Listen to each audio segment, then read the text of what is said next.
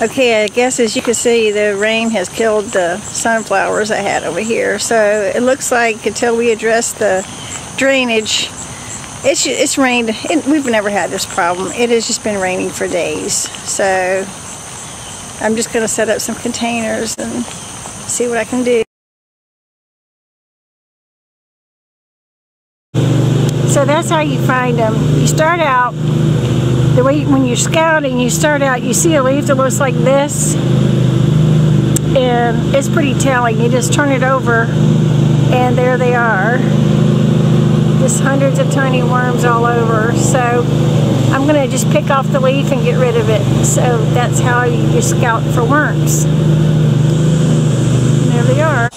Okay, I've got a quick update for the potatoes. It looks like they're doing great. It's only been a short period of time and they're really filling out.